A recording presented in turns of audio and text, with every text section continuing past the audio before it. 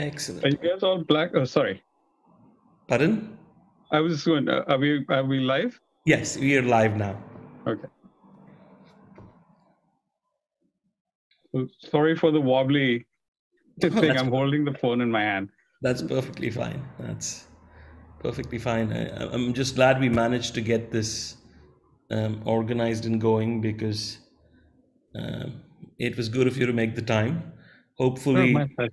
uh, next time when you're in Italy, we'd like to host you here in person. Uh, you know, it's it's a beautiful city. I, I- I know you've been to Naples before, but uh, uh, the the Orientale is one of the oldest seats of Oriental studies in Europe, and um, as such has a very nice Indology department. Oh, So- right, right. So, but where are you guys? You're right now. Are you back on campus? Kind of a mix. So I'll, I'll let Stefania answer that. Okay. Stefania, are you back on campus now, or? Uh, actually, we don't. Uh, the, the problem is that we don't have a campus. Oh, I see. so there's a, so we have, uh, as we have uh, a law first of all, and uh, I'm very happy to um, to, to uh, have you uh, as our guest tonight.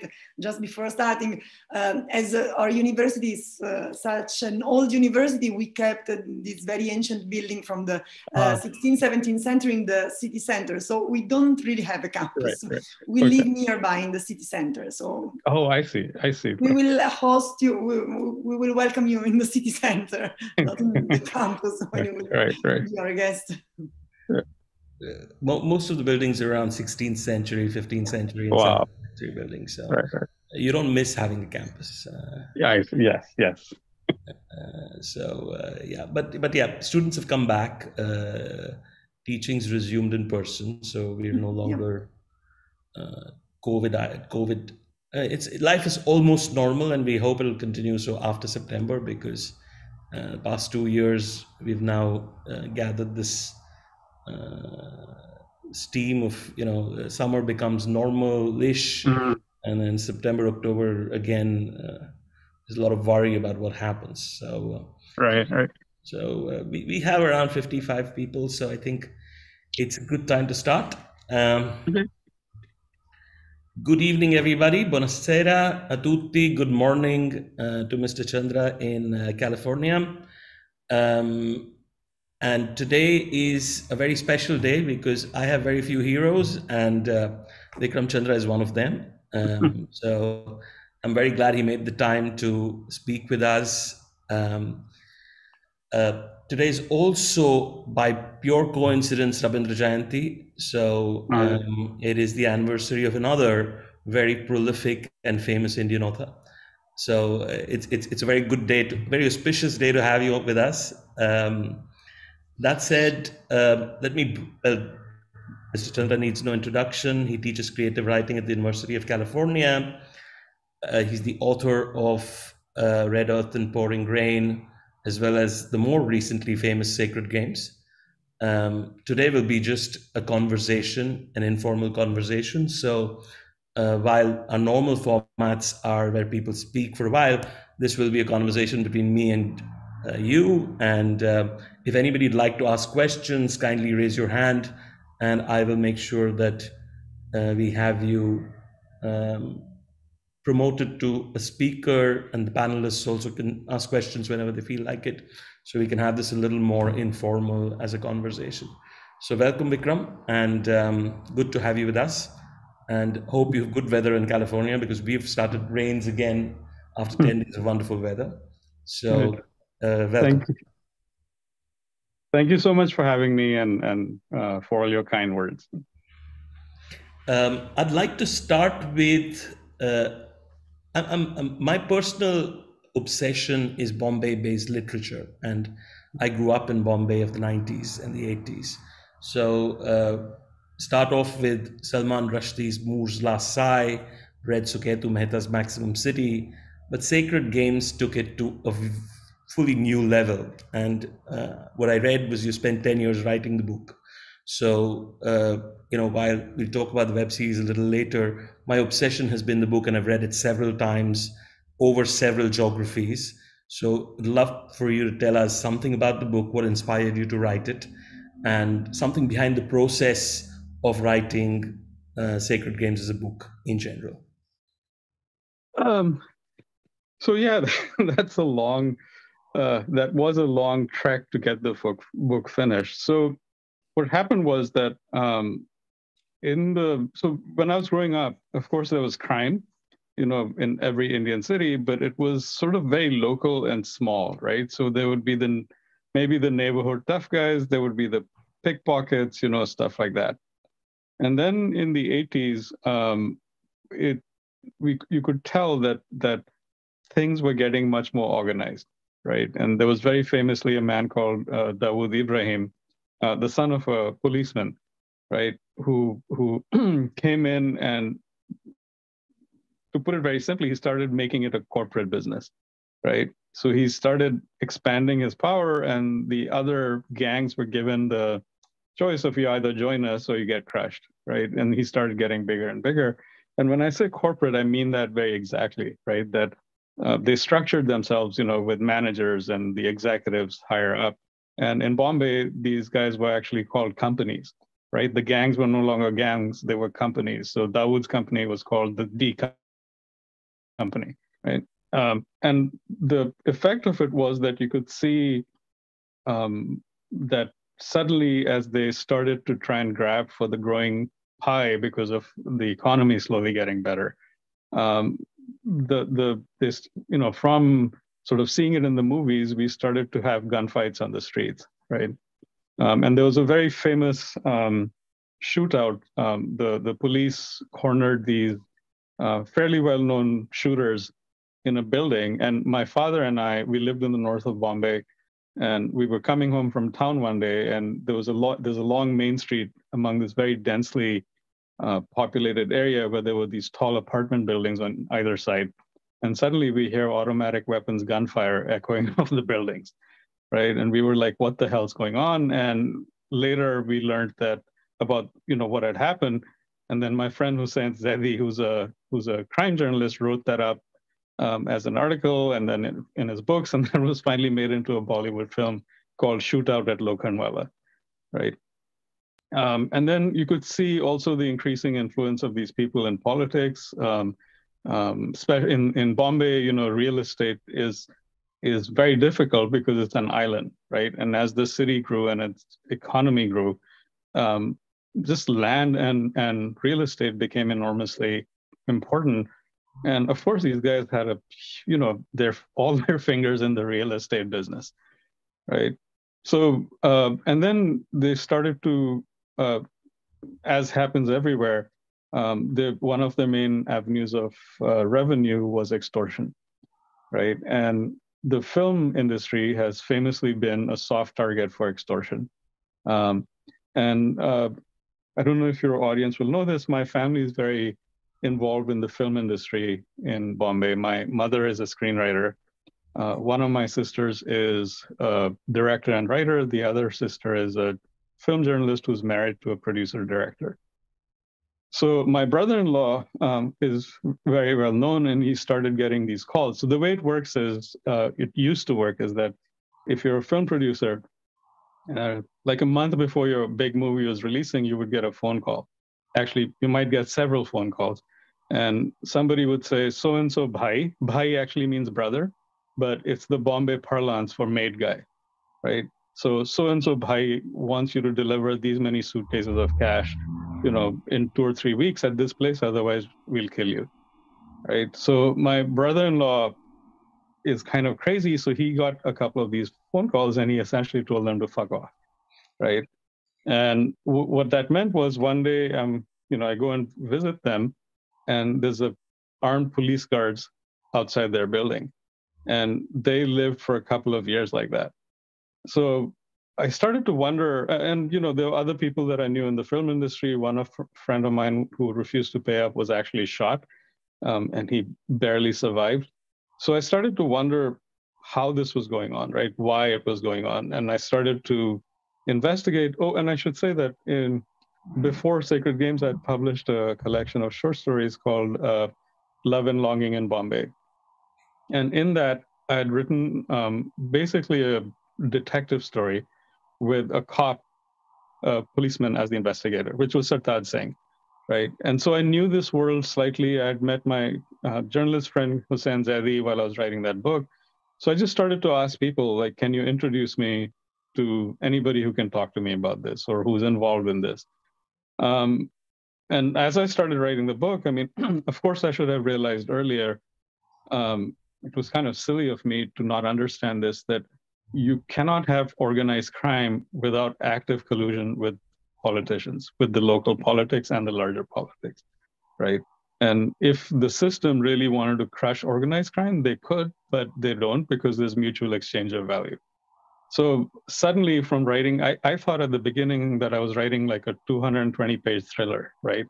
With a dead body or a couple of dead bodies at the beginning, and then, you know, um, you would know by the end why they had got killed and who the killer was. Um, but then I, you know, in short order, I figured out that, okay, I'm writing a book about politics as well.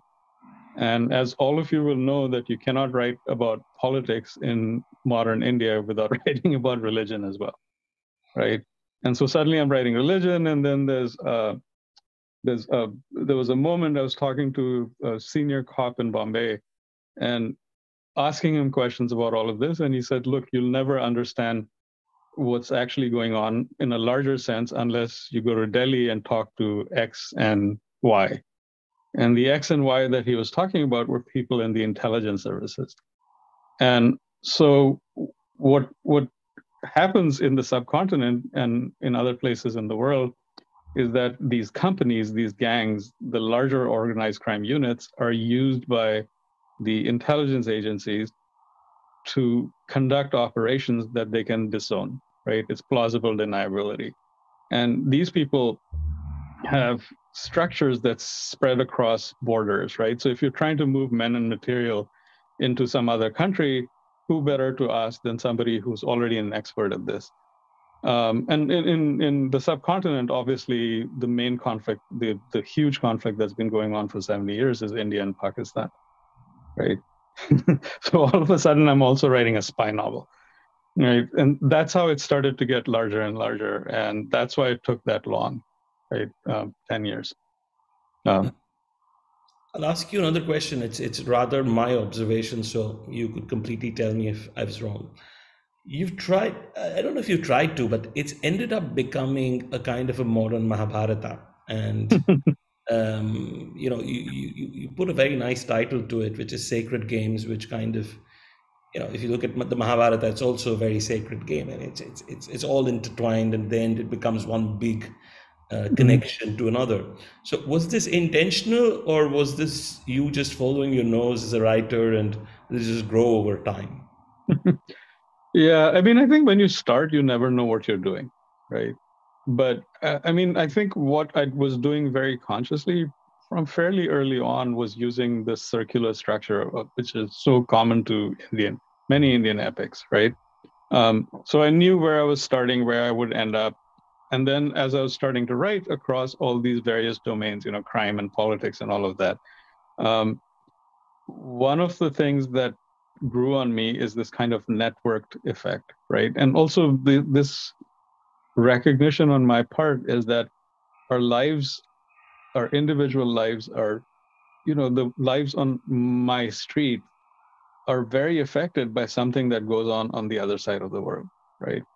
Um, and and like for instance in india you know what happens on the border in kashmir might show up six months later as something that is connected to on my street but for the large part none of us can ever understand all of these threads that move through um, our individual lives. So I, I realized that's what was slowly happening and then especially in the later drafts i could then start to knit it all together right? And then like i said um, because I understood that religion was going to be a large part of the book, I I don't know if it was consciously modeled on. Uh, I, I I didn't um, I don't think I I consciously shaped it after the Mahabharata or the Ramayana, but except that this notion of um, of connectedness of large things that are going on that actually end up um, introducing conflict or love or whatever into our smaller lives. Uh, okay. Um, another question, uh, Sartaj Singh. I mean, you mentioned that you you you'd written a story about him. I, I haven't read your uh, short stories, so I should actually catch up. But have you modeled him after somebody specific, or is he just a mix of Bombay in general? And why the Sikh? Was it because you know uh, any reason, specific reason to why Sikh? Well, so I, you know, I never know where characters come from right? So when I started writing that story in Love and Longing, um, I knew that I, I mean, that the structure of that book is that it's five short stories, each written in a form that I really love, right? So I love detective fiction. Um, there's a kind of, uh, there's a ghost story in there. There's a story, there's a love story, and so forth. So I knew I wanted to do, do a detective fiction, a policier, essentially. Mm. And then I don't know from where he came, right? And if I try and you know kind of do a post game analysis, um, I had Sikh friends when I was growing up, of course, and and you know he's kind of a dandy. He's very good looking, and looking back, I I remember, you know that that uh, I was at boarding school and I saw one of my friend's fathers, and he was a very good looking Sikh. And what I noticed was that you know he was in a suit and he had a pocket handkerchief, you know, the pocket square. So when you tie a turban, there's an outer turban, and then there's an inner. I don't know in Hindi we call it a patka. Yeah, yeah. You know, you can see a little triangle of that inner um, cloth. So this part of his turban matched his pocket handkerchief, which matched his tie, which matched his socks. Wow. Right? And I was like, that is like awesome. I've remembered that all my life, right? So maybe Sartaj came from there. At my school, there was a boy who was like three or four years senior to me, and he was called, uh, his name was Sartaj. But actually, I don't know, Sartaj just appeared somewhere out of this mix, right? Uh, and, and I think, I mean, and he was already a Sardar, a Sikh, right? So again, I started writing, and then I realized that this is actually kind of useful because in the structure of the Bombay department, he's very unusual, right? Um, they've only, as far as I know, I mean, the people that I've known and met, there've been like three Sikhs in all my life, maybe four. And you know, the Bombay Police Department has like 30 to 40,000 policemen in it, right? So it, it's quite rare. So, but the usefulness to me is that he's kind of on the outside, um, and there's all these intricate inner politics, regional politics that take place among various, um, I guess you would call them caste groups right, within the police department. But he's one step outside of all of those. Right?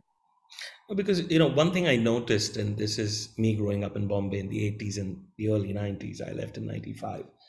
Um, was that your uh, central police character revolves around Parulkar, and Parulkar is a Maharashtrian mm. upper caste Brahmin, which is you know majority of the, the, the, Mumbai police hierarchy, you would probably find a Parulkar. But around him, you have the Majid Khan and the Sartaj Singh characters. Yeah, yeah. So uh, I, I, was wondering whether this was specifically to bring in those different points of view, or this just happened because you know these were the odd guys. Well, I think I mean you can see this, right? It is in some sense it's very heavily dominated by Maharashtrian Brahmins and Marathas right? But you, it is a multicultural force, right? And actually, I have to say at the upper levels, so uh, the upper levels above, uh, I guess you would the equivalent would be above the rank of uh, rank of sergeant. Actually, um, in Italy, you would know this, right? Like you have inspectors and senior inspectors, right. who are kind of like the enlisted force, and then the Indian Police Service, which is the sort of elite officer thing, mm-hmm. that's a national service, right? And those guys are all recruited from, it's a national examination, right? So that tends to be more varied. But it, it, it is a, even at the, the enlisted level, it is a multicultural force, right? You do see policemen. I think I've met more Muslims in, in at that rank than I have um, Sikhs, of course. Uh, I mean, because there's a, a, quite sizable Muslim minority in Bombay as well, right? So people come from that. Maharashtrian Muslim minority is, is quite sizable. sizable. So, so actually, at, at the Havaldar levels, the, the, the lowest levels, the constabulary, as you would have called it in the British times, you'd probably have quite a, yes. quite a big bunch of Muslims, etc. Right. Uh, I kind of, uh, and this is again my observations. Again, last time I read the book completely was several years ago. Hmm. Um, you have very few Parsi characters, even though they dominate, or they did dominate at least in in the 80s and the 90s. They did dominate the Bombay scene, even until 2010 or so. They did dominate the economic scene. Why was that? Is that any specific yeah, reason? I mean, I guess I guess numerically one should point out that they're very small, right? But they because of the, I mean, during the colonial times, um, they were commercially, economically very important, right? Like some of the larger kind of huge business um, interest companies, the Tatas and so forth, were were Parsi, right? Godrej and so forth. I think, like you said, over time they've become less um, economically sort of present, but also culturally, it seems to me that from that time where they were, you know, building museums and so forth, um, in the movie industry, for instance, or uh, national media, you know, the newscasters, I've started to see less of them, right? So I suppose it's some kind of reflection of that, right? Uh, although, although the, I mean, in in my fiction, I guess, as you show up in the book of short stories, one of the short stories is um, is uh, the protagonist is a Parsi um, officer, right? Uh, a very uh, famous Parsi officer in the Indian Army. I mean, fiction that is not in not in real life right? Although again um, the indian army has had some very prominent parsi uh, people in it. You have Sam Manekshaw, one of the bigger names. Right, right. Um, yeah. Uh, now just move over to the web series and uh, first question you you are the executive producer of, of the web right. series as well. Uh, the process of converting a 600 page i think novel to a, a two season series. Um, 900, right? 900. yes. 900 page novel to a two season web series. Um, tell us something about that, please. Yeah, I mean, you know, um, it's been an interesting trip. So the the the um, when the book came out, actually before it was published, um, people one um, you know what happens in the publishing industry is before a book comes out and if it gets some buzz come, going around it the the film and tv scouts also sort of pick up the buzz and you start get my agent started getting calls. And i actually um, had a meeting in la with one of the principals in um, a really really well known um, uh, movie company that you guys will know of um, and they make amazing films right? Like not just in the commercial sense but smaller indie movies that win oscars and stuff. So my agent told me to go and meet him and i did and we had lunch. I liked him a lot. And he wanted to option the book. And i'm like okay you guys are crazy. You want to make a movie out of this? I mean even if it's a three hour movie i don't quite understand but okay. And then they uh, hired a very um, renowned um, British screenwriter and playwright to do the adaptation. And apparently he went nuts over a couple, two and a half years trying to do it. And it kept, for one reason or the other, not working. And so um, now this was a time, 2007, you know, prestige television series had already started. The Sopranos was out. And that always made more sense to me. Um, and then uh, a producer asked my agent, and I think it was 2014, um, if, you know, can we try and sell this in Hollywood as a series now? And by that time, Netflix had proved its model of, you know, um, make local and sell global, right? Narcos was already out. They proved that you could make a series in another language than English and have international, you know, uh, viewership for it. So then we spent like two or three years in what is called development hell, right? We were optioned by a very prominent um, company and then we you know you write and write drafts again they keep giving you notes finally ended up not getting made by them but because we were doing the rounds of hollywood we had had meetings at Netflix, and that's when it got. Um, they finally decided, yeah, they were going to give green light it, right? Um, and I should say that executive producer in the movie industry, some of your audience who've been involved will know that executive producer is a throwaway title, right? It's like it can mean absolutely anything, right? so what that meant for me was that they were writing it. I teach here in California at Berkeley, so um, the writers' room was in Bombay, and you know they were working on drafts, and they would send me drafts of the episodes, and I would then like really pepper them with suggestions and comments, and um, you know which some of which get taken, and some of it obviously don't. Right? I mean, in the movie business, the person whose book it's based on has the least power in that st- structure, right? Uh, which is actually as it should be, right? Because film is the very very different medium right uh, you cannot make a 900 page book and be faithful to it right in a kind of literal sense. And especially if you're making uh, a thriller right? So i mean uh, when the book first came out in india um, my publishers were talking it up as a thriller and i was like how can there be a 900 page thriller? Right? Because it's a very slow burn book right? Uh, i mean I, what interested me is about this we live with the fear of conflict and especially nuclear conflict in the world and it's always present in india you know um, if things can go wrong at very short notice right because there are two hostile military forces facing at each other at sometimes like a 50 foot distance right um, so what i was interested in is this like how we live in fear but then we forget the fear right and then suddenly there's a terrorist act, right? Something gets blown up and then that shatters into our ordinary daily lives. So that was what my assumption was, right? And Netflix wanted to make a thriller. So of course they had to change it and then also change it for the way of making it uh, something that works in the film medium, right?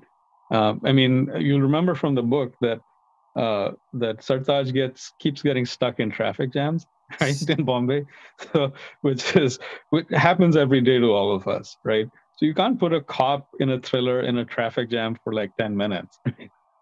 So all of those changes happened. They changed the characters. They introduced you know um, one of the characters Kukoo uh, who's uh, she's a transsexual. Uh, in the book she does never appears on stage. There, there's just these two policemen on stakeout uh, who are telling a story about her. And you know they found that one mention of her and made her a major part of the series. And and you know Kubbra Sait, who's the actress did a wonderful job. And you know so so that kind of thing i could never have done right? Because in my head it's still the novel. And i there needed to be eyes that were seeing it from outside. Uh, my question to you i mean it's probably an unfair question but um, how satisfied are you with the web series vis-a-vis the book i mean i think they did a fantastic job right? I mean and and all of us you know it was the first netflix series and we were all trying to do a good job of it but we never expected the kind of reception that it got in india and then also outside india right? And it pops up in the most interesting places. One of my uh, school friends is a senior guy in this um, mm, uh, one of those New York uh, venture fund kind of places, right? And his boss, you know, uh, who's very American, East Coast, waspy guy, suddenly comes up to him one day, and you know, he's saying this to him because he's Indian, and he said, "Hey, I just saw this series called Sacred Games. It was, uh, you know, I really liked it, right?" So, you know, for us to imagine that uh, what we were doing in Bombay would be watched like somebody like him. We had never imagined that, right? We we hoped that it would be successful in India, and we had a fair amount of confidence that people would watch it, but not this global thing, right? Uh, you've used all the minor Asura stories, um, you know, Atapi Vatapi, as as as your episode names throughout the two seasons. Is that was something that came from your end, or was that uh, uh, your screenwriters in Bombay? That was that was the writers' room, right? I mean, I, mean, when we started talking about it, you know, in especially in our earlier discussions, we did, you know, we had to talk about, you know, Ashwathama, right, who's a character from the Mahabharata who's immortal. Um, and we talked about him. I talked a lot about him as a metaphor for Gaitonde, right, who's the ultimate survivor. His first name is Ganesh, you know, who's the who's the uh, god that you pray to when you set out any on any venture, and he seems immortal, right, all the way till the end.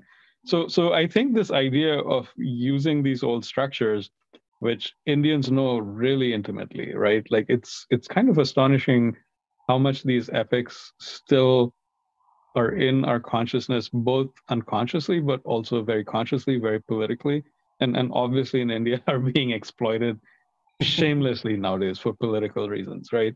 So so I, I think that was that layering that they did was amazing, and I think you know m- most credit should go absolutely to them, all credit. Right? Uh, any comments on a season three?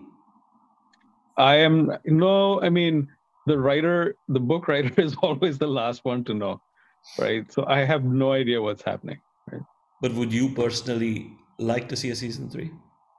I would like to see seven seasons, right? Because you know, because uh, yeah, because there's so much more to explore, right?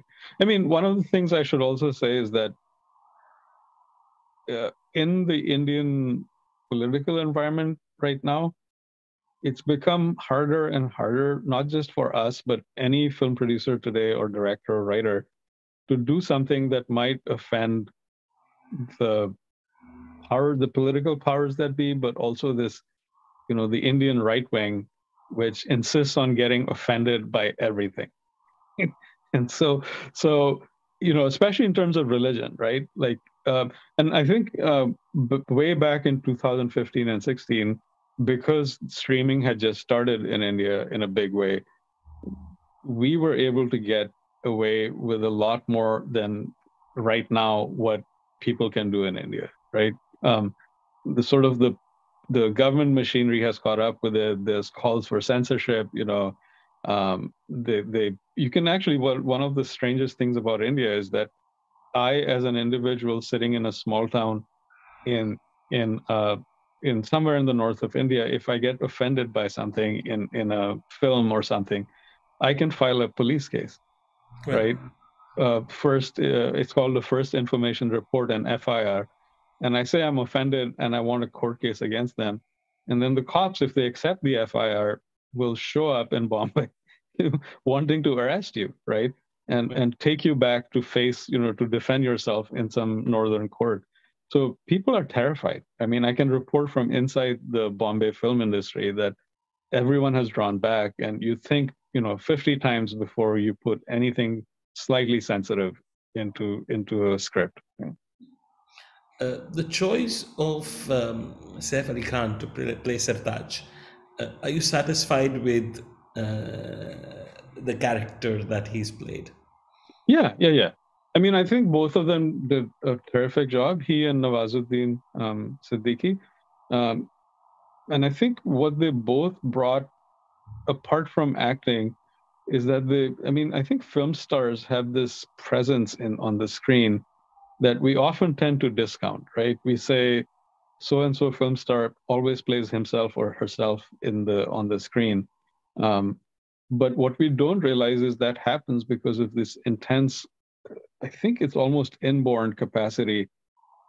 When they're in front of the camera, they eat up the camera, right? The camera eats them up, and you can't look away from them, right? And I got a very, I mean, um, I went to film school for one year in New York at Columbia, and Milos Forman was the director of the program. And uh, I unfortunately never got to take a class with him, but he gave a lecture to the incoming would-be directors and um, filmmakers. We were expected to make movies of our own, right? And he talked about this, right? That he said, like, if you take somebody like, uh, you know, Clint Eastwood, or on the Indian side, Shah Rukh Khan or Hrithik Roshan, you know, whatever they're able to do in terms of acting is one thing, but the presence of a film star, a star in your film does something else that is potentially magical, right? And both of them, I think, um, Saif and Nawaz brought that presence um, to the screen. Right? I'll, I'll go back to the book for a minute and uh, let's talk about the most famous part, uh, not the most, but the more important part of the book, which is this Swami, this God man. Um, uh, uh, I mean, uh, the, when I read it, it, it, it started reminding me of Ch- Osho and Chandraswami, and then it went straight mm. up to you know it kind of progressed from there. But yeah, yeah. Uh, do you have any specific models on, on whom you model this uh, character or? Well, you know, I mean, I'm glad you brought up Chandraswamy because I think in today's India, he's quite forgotten, right? Which is incredible. Um, I, you know, I, your audience might not know. So this another Godman, right? way back started getting like popular in the 70s. He was close to the political powers at the time, so he would show up on television giving you yoga and spiritual lessons, and he became nationally famous. And then, you know, politicians would go to him. They would want to be seen with this guy. And then it turned out that he was uh, this is a sort of whole sidebar story that he was close to Adnan Khashoggi, who was a global weapons mover kind of guy, a weapons czar, right? One of these guys, international weapons traders. Amazing, right? So I, I, I'm sure that he was in my somewhere in the back of my head. And then also, you know, locally, I mean, by local, I mean, you know, your friend's friend's aunt always has this guru that she's going on about, right? And and so forth. So I, I think the um, while I was writing the book, I tried my best to meet every such person, man or woman or child that I could, right? Um, and so somehow out of a mixture of all these big and small came Guruji. And, and, and Guruji seems to have this uh, kind of unexplained presence where, I mean, I would have expected Guruji to have a little more foreign influence on him because you know, when you saw Chandraswami from the Narasimha Rao era, the liberalization, I mean, for me, that's the reference point. The three most important things that shaped modern India were Babri Masjid, the Bombay mm bomb, bomb blasts, and then the stock market scandal, uh, mm-hmm. the liberalization thing. I mean, that was my Bombay for me. So uh, you must forgive me if I take you back there. but, um, uh, you know, I would have expected a lot more even in the book, uh, you you keep him international because you know you you have all these mentions to his foreign businesses and whatever else, but you don't show foreign political influence on him. What would be expected? Is that purposefully done, or have you just tried to keep it simple? No, I mean I think not all of them have that, right? So if you look at the current models, right, Sri Sri, you know, who's another present guy. What's the other guy's name? um, the mystic dude, you know, with the really beautiful clothes. Yeah, yeah, I uh, know talking about. Um... anyway, it's anyway. okay. It'll come back to me, obviously, after the end of this discussion. So these guys are close to politicians that in in the sense that you will see them in the same circles because they're so influenced and famous and globally famous in a sense uh, but you know, they, I, you know, I don't know any current guy who has that kind of Adnan Khashoggi connection, right? And and nor somebody who is seen necessarily, you know, uh, I mean, you know, they would they love having a picture with Obama or something like that, right? But as in the foreign influence, you would never want to make that obvious now, right? Uh, because there's this whole nationalistic thing, you know, we're always talking about something goes wrong in India, oh, it's the foreign hand. Yes. Right?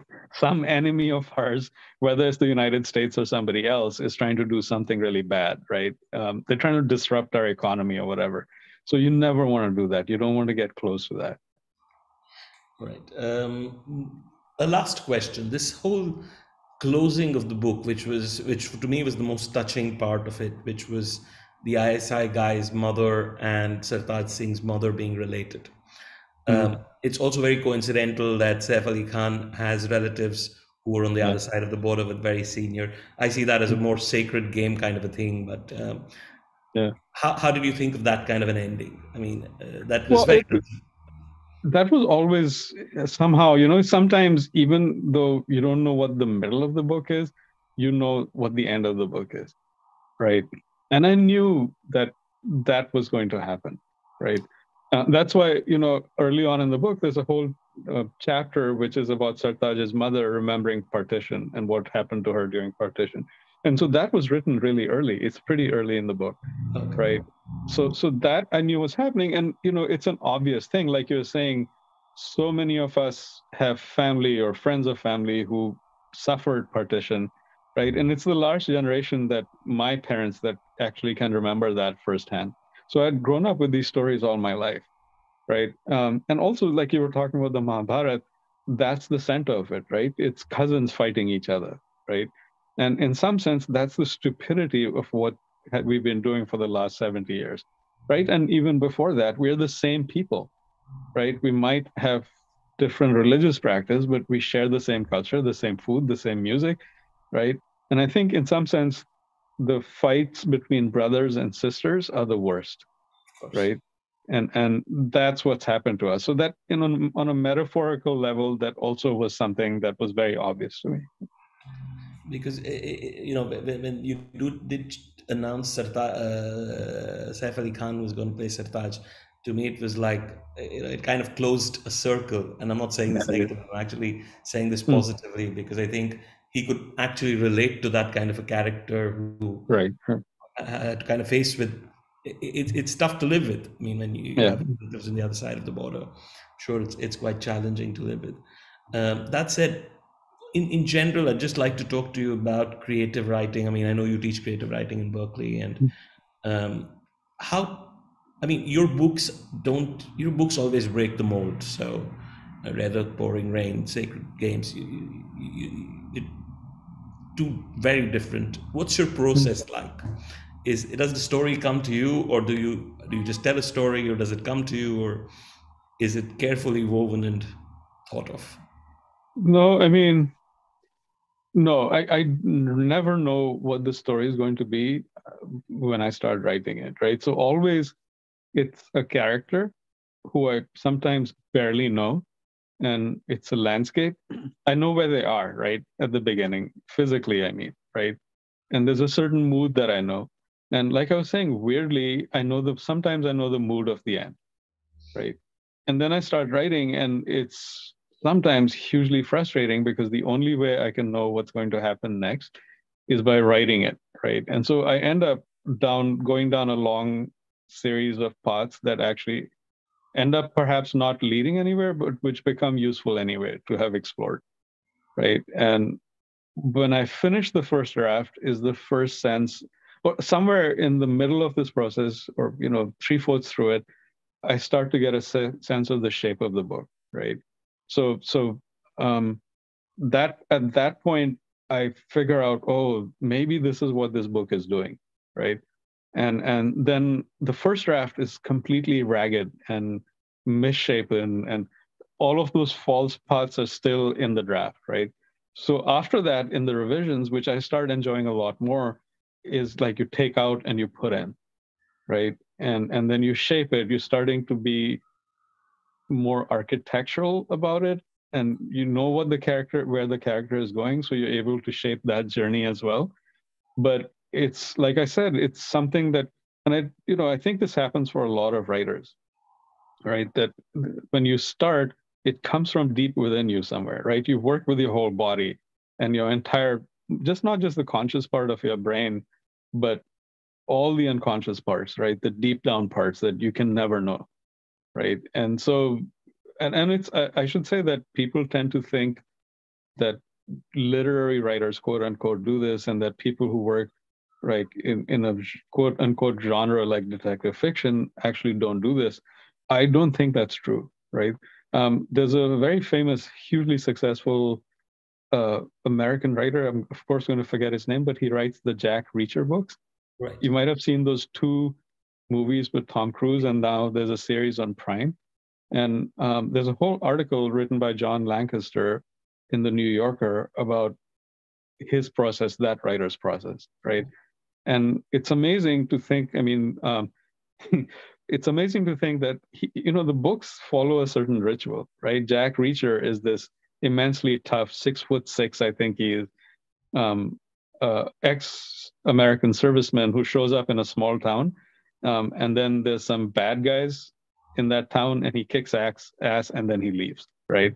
He's the, kind of the wandering cowboy yeah. And part of the pleasure of reading him, of reading those books, is that you know the ritual is going to be followed.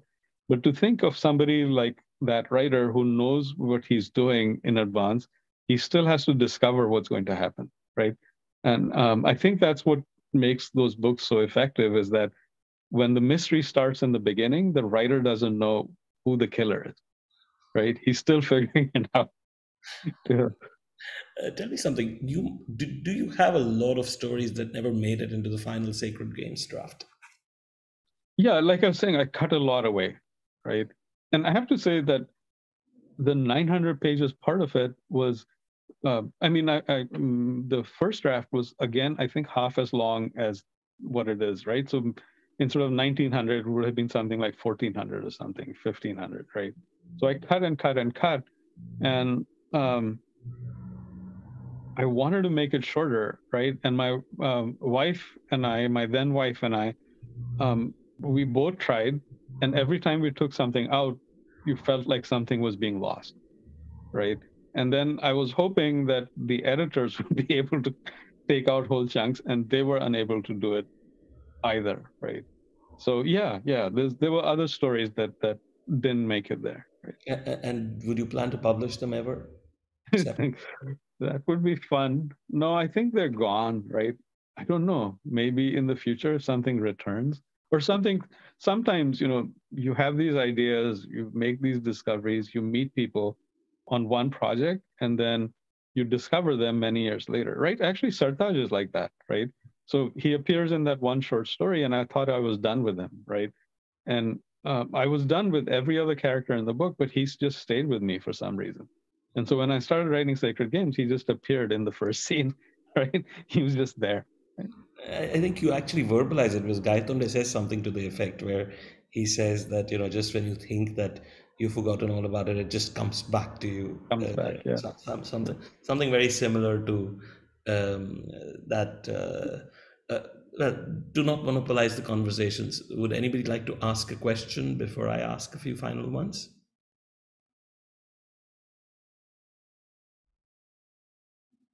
Don't feel shy. So, mm-hmm. Meeta, go. Yeah, hi. Let me unmute myself. Um, uh, firstly, it's an honor to have you here with us. And uh, I've been so looking forward to this evening. I'm, I'm a great fan since I uh, read Red Earth and Pouring Rain. Uh, I think it was released in the 90s, and I was quite young then. And um, and I've been a fan ever since. Uh, though I love the Sacred Games book, so I'll ask you one question about Sacred Games. Um, um, was uh, Ganesh Gaitonde at all inspired by Dawood Ibrahim? And why this particular profile for, uh, you know, where um, he was indoctrinated superficially into a ritualistic kind of religion and then he kind of becomes faithless uh, uh or something like that? Right. Well, I mean, I think he, like all the other characters in the book, are mixtures of various models, right? And I think that's what writers do, and I really do, right? You you meet people, and somehow they mix together with other people, and then they show up, right? Um, and so it's hard to say like it wasn't a one-to-one kind of uh, takeoff on on Dawood or any other pe- uh, of those people. Um, and then uh, I think that's what um, Gaitonde's journey in terms of his faith and his religion. Uh, you know, there's this whole relationship with his father, who's a priest, and Sarta, I mean, uh, Gaitonde finds him contemptible, and uh, he becomes a kind of uh, uh, faithless person. But then he gets seduced by Guruji, right? And I think um, it's something that happens to all of us is that we want an ideology, right? If you want to call it that, we want to find a direction through life. And so, you, you know, whether it's it's even if you're an atheist, you look for some structure that explains everything to you, right? So I don't know. I mean, you know, you know, the sort of faith that some people have in in uh, you know in in in liberal economy, right? Like, so literally the invisible hand of the market, right? I mean, I don't think it's very different from the invisible hand of God, right? Uh, and and and so forth, right? So what happens to Gaitonde that in a very difficult part of his life, when he's shattered in a sense, he meets this man, right, who is then able to explain his life to him, right? Um, uh, later on in the book, there's a there's a young man called Adil, right, um, who grows up in a tiny village in Bihar, who's again crushed by his economic cir- circumstances, his caste circumstances, um, and then there's a um, kind of you know Maoist rebel leader who shows up and who gives him that ideology, and suddenly uh, uh our young man finds uh, that explains what is happening to him, right? And he becomes a follower of that, right? And so I'm, I'm, i hope I don't sound contemptuous of people. All of us, I think, do this, right? In the large and the small, we want to find some meaning, right? Um, in, in our individual lives and in, on a larger cosmic level, right? Even on a metaphysical level. So I guess that's what go, is going on with Gaitonde. Right? And I have another question. I'm sure a lot of our students are uh, aspiring writers. So, do you have any words of advice for um, young people who would like to start writing mm-hmm. or who would like to?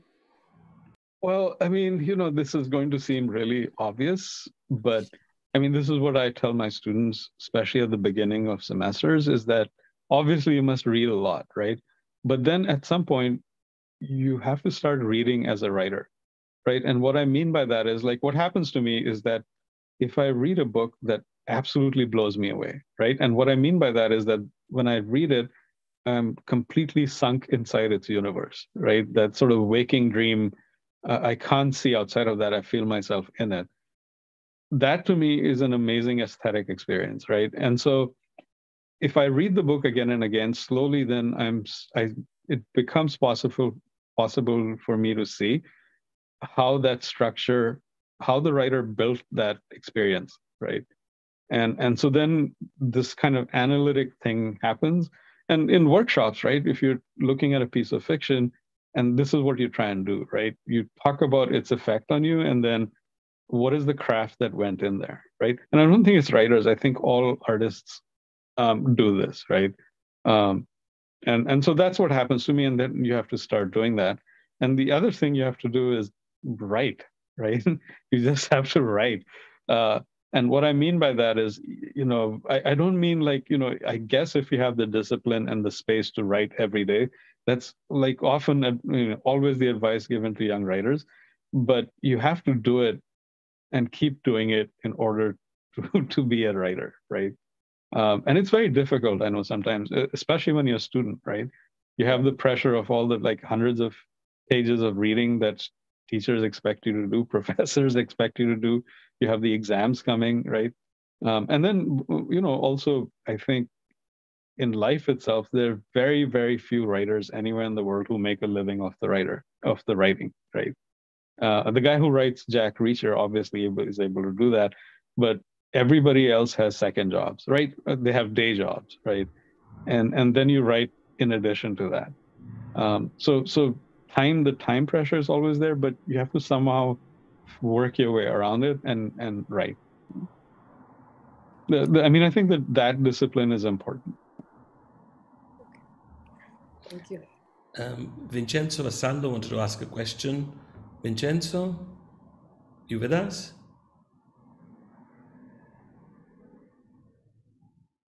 Yes yes hi everyone. Good evening. Hi Sorry, Hi. I'm in the streets, so I, ho- I hope you can hear me well. Um, I, I can uh, hear you. First of all, thank you very much for uh, the the conversation you've had and for the for all the um, inspiration you you give us uh, students and writers. Uh, I mean, as a writer, um, I, I find it to be very inspiring. Um, what I wanted to ask uh, is um, as an aspiring independent book publisher. So apart from writing, I have a project of uh, independent book uh, publishing. And matter of fact, right now I'm at a independent books fair. Um, so interesting occasion to talk about this. What I wanted to ask is, what is the state of independent book publishing in India? Um, like uh, especially often um, independent publishing conveys a lot of political texts coming from young people, um, but not only of political matter, but a book itself is a political object. Um, mm. So I'm curious about what is the state of book publishing in India, especially mm. for young people who want to approach this um, this uh, this job, this year? Right. Oh, that's a really fascinating question. So, I mean, what I see is that English language publishing is dominated a lot by big international houses like, you know, um, Penguin and, you know, um, these, these kind of international big, big uh, projects. Um, there's much more, it seems to me there's much more energy in independent publishing in the other languages, right? Like Hindi and Marathi and so forth. Um, partly it's because the the what happens in India is that that even though the numbers of people who read in other languages is much larger, um, English is an aspirational language, right? So people who buy books, and especially the more expensive books, um, uh, the everywhere from the lower lower middle class upwards, they want to learn English because they see it as an economic ladder also. so so uh, there are smaller publishers in English as well, but from what I see from the outside is is more more money being present in in, in English, right, in larger publishers. Um, I do have a very good friend, um, Chiki Sarkar, who was an editor at Penguin, my editor at Penguin, and she went off, and it it was it's basically a startup, right? She raised uh, venture capital funds, which she was able to do because of her track record at Penguin, and she founded a publishing company called Juggernaut. And what they're doing is very interesting. They were very successful in you know doing ebooks. Um, so that's been something really interesting for me to watch. Is that um, I, I guess you could call that independent publishing in the sense that it's startup like, right? Uh, but I do agree that the the that indie publishers are able to do more um, stuff that is off the beaten path, right? Um, anyway, I, I, I, I'm not being very clear or informative here, I think. Uh, but in, in response to your question about uh, what is the state? I think the state of independent publishing is much healthier in, uh, and there are more of them in the regional languages, right? Um, uh, I should say also that that uh, my first two books, uh, Red Earth and Pouring Rain and Love and Longing in Bombay, the the Italian translations of them were published by Yanni Borgo, uh, who ran this small publishing house called Instar Libri. I don't know if you young people will know of that, but um, Yanni's whole thing was that he produced these incredibly beautiful books, right? And what I mean by that is they were beautiful as objects, right? So they would be, it, it they look like you know something that went back um, to the 18th century or the 16th century, where the book was produced to be not just an excellent reading experience, it was meant to be beautiful in itself, right? And I I mean, now looking back, I thought I think it's a very interesting example of maybe how an indie publisher um, is able to um, is able to be distinct, right? Um, in terms of book as political object, right? I guess you could think of those as luxury items. Um, if you haven't seen his books, I'm sure they're present in some libraries. You should go find them. Um, and then in the States, my last book, which is nonfiction called Geek Sublime, was published by a very small company called Graywolf. And Graywolf is tiny, but it punches far above its weight. Their books all you know win awards every year. Um, they they won the uh, their writers have won the the most um, uh, prestigious awards like the Pulitzer and so forth um, in the United States. Um, and they, interestingly enough, are a nonprofit right? And their stated mission is to publish books that um, otherwise would not get published, right? And so that Geek Sublime is a really weird book, right? It's about computer programming and pre-modern Indian aesthetic theory. So, so it fit in perfectly with that, and they did a fantastic job of uh, of putting it out in the market, right? Um, Thanks for that, um, uh, Vincenzo. Does that answer your question? And uh, I we have one question from Professor Cavaliere. Then I'll go back to ask you about this thing about pre-modern aesthetics because we do a lot of Abhinav Bharati at the end. Abhinav, oh wow! So at university, we don't have our Sanskrit professor Svera, but Professor Cavaliere, if I'm not mistaken, did her PhD thesis on aesthetics and Abhinav Bharati. Oh, wow. So uh, I'll, I'll, I'll, I'll, give it over to Stefania first, and then we have a question from Rakesh Kumar. I hope it's not it's not too late. I can um, no. make a small question. Uh, first of all, thank you very much again. I'm uh, I was very happy mm, to mm, to have you here and uh, to have the opportunity of uh, listening to your um, to this discussion.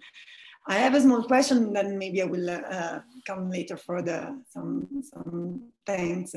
Um, the question is uh, um, connected to what we said about uh, titles, titles, mm. inspiring titles, evocative titles of the uh, um, Netflix episodes, and then uh, which were really uh, very inspiring to me. And then I went back I remember that also in uh, Love and Longing in Mumbai, you, in, uh, in Bombay, you, you yeah. choose some very special titles uh, for your uh, stories mm, because are mm, these mm.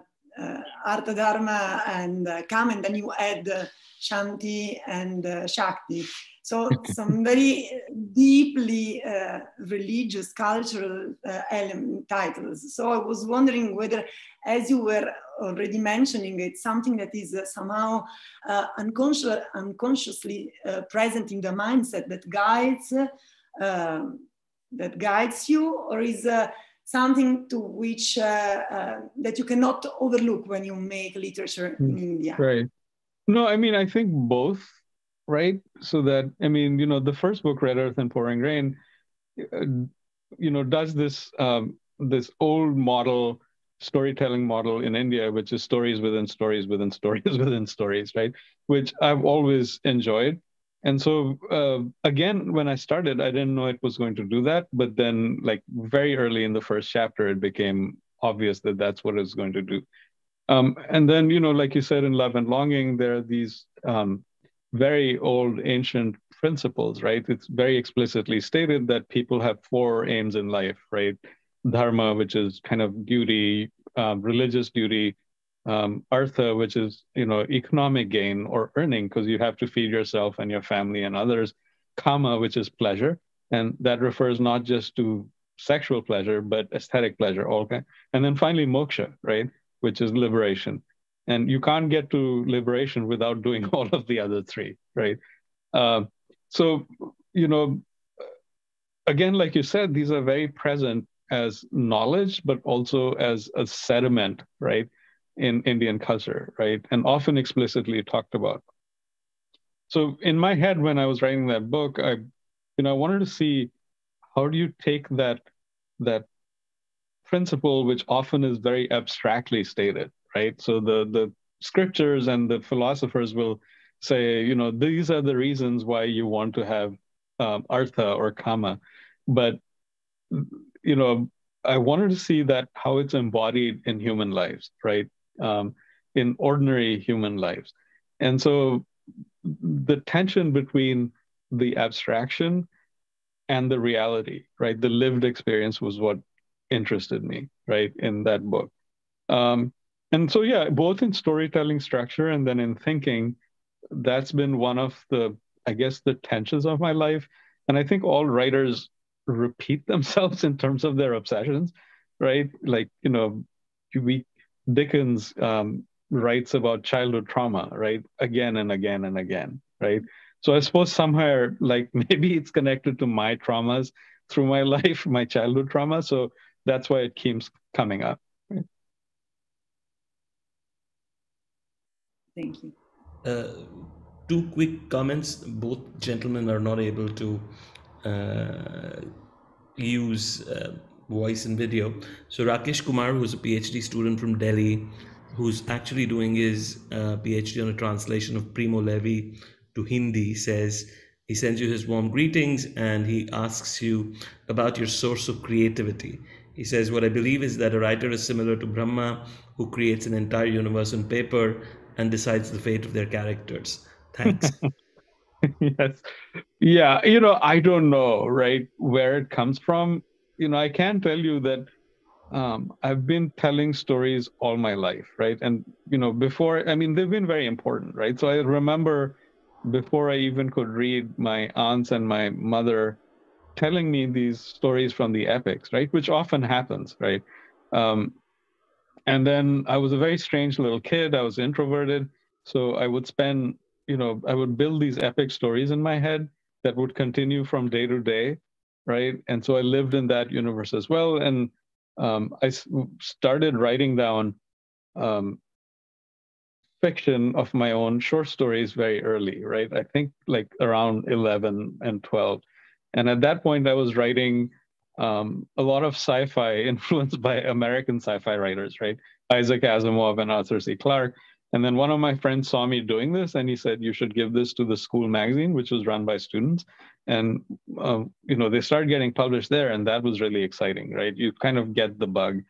So I don't know, right? Like my nephew, for instance, he like he's been an obsessive cricketer since he was three or four, right?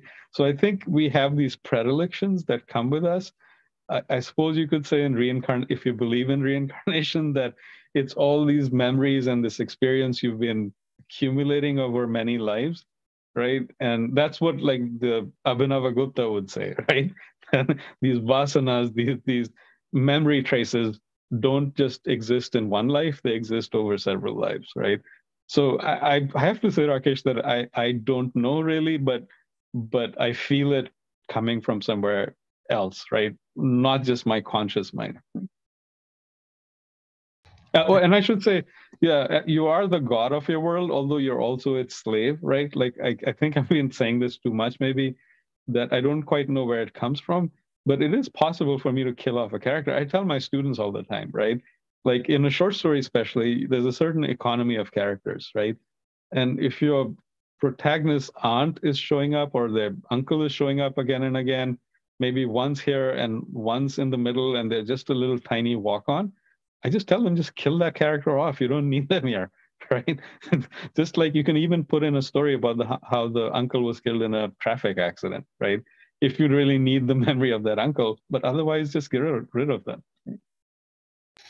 Uh, I have to read uh, Geek Sublime because now, now, now you have your, you know, you've piqued our interest because uh, we're actually doing a festival um, in June, uh, which is going to focus on pre-modern aesthetics. Oh, right. Um, and we have uh, uh, Professor Shulman coming in from um, Hebrew University, and it's something oh. that Stefania is leading. So. Oh, you guys are so lucky. He was here at Berkeley, and I sat in on one of his seminars.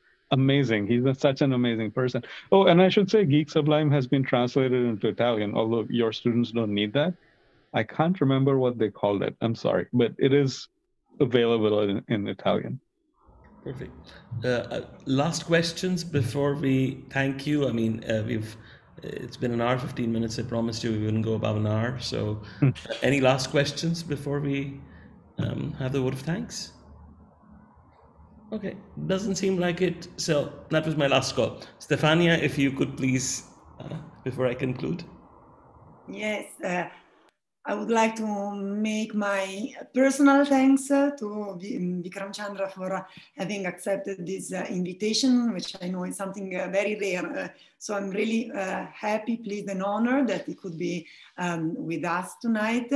And uh, I'm uh, very happy, very thankful also also to um, Vas Shenoy of Association Associazione Sakshi for having for making it possible. So thank you very much for Personally, I would like to thank you, um, Vikram Chandra, because uh, he has, has uh, obviously, I'm also a great fan of his books and uh, uh his, uh, his literature is uh, his mm, books are part of of the image of the imagination of India that all the people who didn't have the luck of growing up in Bombay, in Bombay, in Bombay, uh, um, have. So uh, thanks to his book, we uh, we had the first, uh, at least for me, it was the first one of the first windows on uh, India and on the city of Bombay. So it uh, it's full of inspiring suggestions, and um, they offer they they offer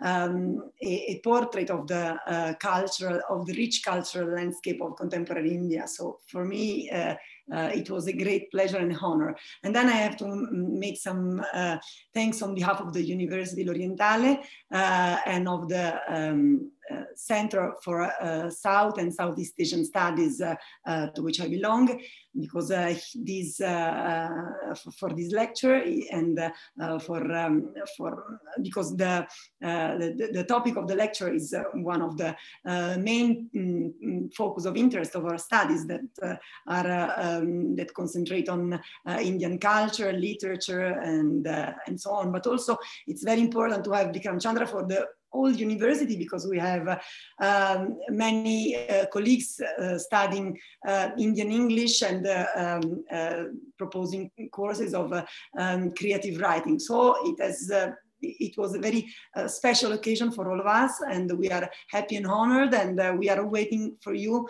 uh, in Napoli. So we will looking forward to welcoming you in person soon. Thank you. I would I would love to come. I mean, I, it's one of my favorite places in the world, um, and I need to come anyway because I, we never we didn't talk about this, but as you know, there's very ancient collect, uh, connections between Italy and India, yep. going back all the way to the first century CE, right? And and there's a couple of sites that I need to go to in southern Italy that I would love to come for. So please let us know, and we will arrange and uh, wait for you also here. Okay. We'd love thank to host you in person. And thank you again for making the time. I'm honored that this is the only talk you did this year. So uh, we, we have the wonderful sea in front of us. You're, you're heavily missed in Naples, and we hope that we can see you in person the next time. Yeah, yeah, yeah. absolutely. And and like I said, I mean, we didn't also talk about Inspector Montalbano. oh, of course, but that without a bottle of wine is, I think, yes, yes. you know, it's it's we, we need yeah. to have the bottle of wine open, and that that's a conversation that needs to happen on that. Bottle. Right, right. I was I was thinking actually that there needs to be a series about Sartaj comes to Italy yep. to investigate something. And I, he actually, becomes partners with the inspector. Uh, some of my uh, dear friends who are uh, Italian friends are now directors of um, web series here in Italy, and one of them is also directed Diavoli, which is Devils, which is this thing that the guys from Grey's Anatomy is doing with it's an Italo-Anglo-Saxon uh, thriller again based on stock market manipulation, etc. So oh, uh, I'm actually trying to work a lot with Sakshi and Orientale to get Bollywood involved with Italy to try and make stuff here.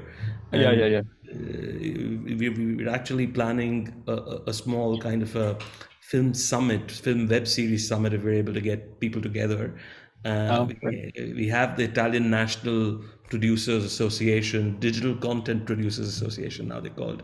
They're they're like the Film Producers Association, the Motion Pictures Producers Association in India and the US. So they've they've agreed to work with us on it. Now let's see how how successful okay. that is. But but the idea is to actually you know get a character like Sartaj Singh to get I don't know a very good looking Italian uh, female detective and uh, right. go looking for hidden money somewhere or something like that. I'll, I'll leave the creativity to you. Okay. I, I, I, provide wine and I essentially accompany. I, am I'm, I'm, I'm on for the ride. So. Okay. All right. Thank you so much, everybody. Thanks. Thanks, thanks for giving for, me Thanks chance. for making the time and uh, have a good weekend. Yeah. Okay.